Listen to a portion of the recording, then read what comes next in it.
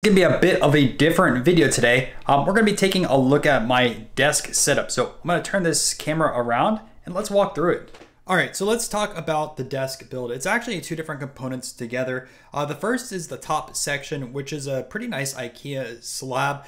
Uh, the bottom is gonna be a raising desk stand that I purchased on Amazon. Also on the desk, there is four buttons, but I only use three of them.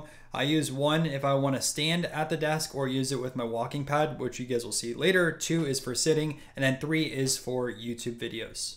And then on the right side of the desk, I actually have a cup holder attached to it. Put my Stanley in there. I drink quite a bit of water every single day, and it's pretty convenient. And while empty now, I also typically have a coaster with a glass full of electrolytes. I usually drink one or two electrolyte packets a day. To the left side of the desk, I usually keep three notebooks and a loose piece of paper. Three notebooks deal with YouTube videos, a daily journal, as well as tasks that I want to accomplish each day. I'll also typically have a stack of cards that I'm organizing on the desk. My other YouTube channel is card Focus, and it's been a hobby that I've had since I've been a kid.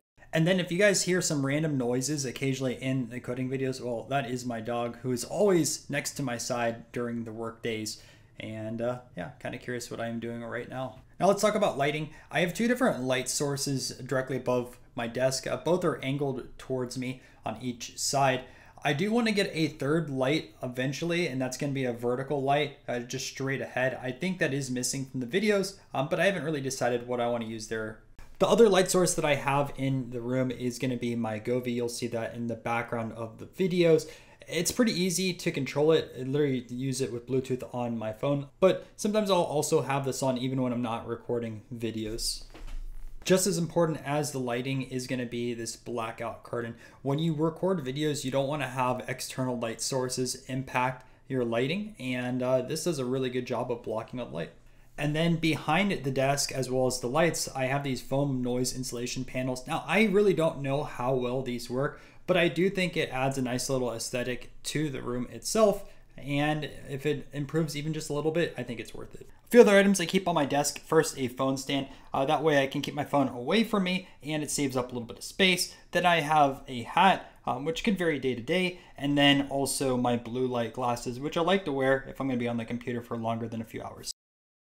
I also have two laptops on the desk as well as a laptop stand. The first is going to be an HP Victus, which is my personal computer. I typically use it for some video editing or Photoshop work. Then I have a MacBook, which is going to be my work computer. And then lastly, I have a laptop stand. I think this thing really comes in clutch. It stops me from looking down at a laptop all day, and then I'll often bring it if I have to travel into the office. Now, I'm not the biggest fan of using laptops, so I have this KVM switch. I can either plug in the MacBook or my personal laptop and use the same peripherals as well as the desktop monitors. And then I also have an audio interface, so that way my microphone can connect directly into my computer. Uh, microphone wise, I use an Audio Technica. I can't tell you the exact thing. I paid like maybe a hundred bucks for it a few years ago. And then for recording videos, I use this Elgato Facecam. I know they came out with a 4K version. I bought this like directly before then. It is an expensive webcam, but I think it's worth it.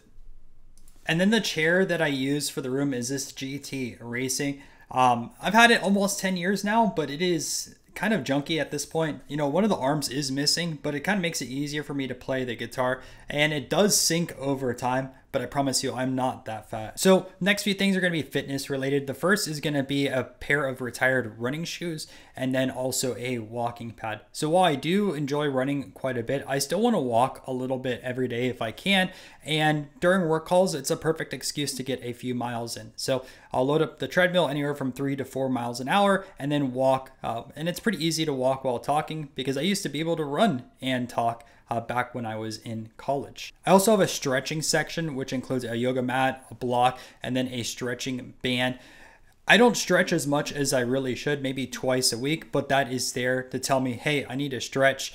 And then lastly, I also have a Theragun. My muscles do get pretty tight time to time because I lift weights and run, so it's kind of convenient to have it right next to the desk and then massage as needed. I also keep a whiteboard in the room that's dual sided. One is going to be more focused on fitness, and then the other side is going to be focused on video production.